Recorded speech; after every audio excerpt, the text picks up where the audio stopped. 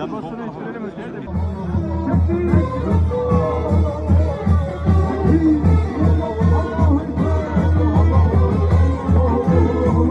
nasıl buldunuz TOG'u?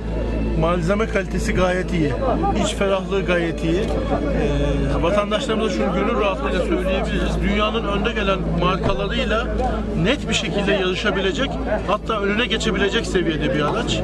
Allah yapandan, yaptırandan, vesile olandan, başka sayın, başta Sayın Cumhurbaşkanımız olmak üzere Türk mühendisinden, Türk işçisinden razı olsun. Bize bu değeri kazandırdılar. İnşallah daha niceleri gelecek. Cumhur İttifakı'nın iradesi bunu başaracak. Efendim Sakaryalıların ilgisini nasıl buldunuz? Yani e, siyasi partilerin toplayamadığı kalabalığı bugün tok topladı meydanda. Dolayısıyla Saka- Sakarya'mız bunu bekliyormuş. Türkiye bekliyor. İnşallah daha nicelerini göreceğiz.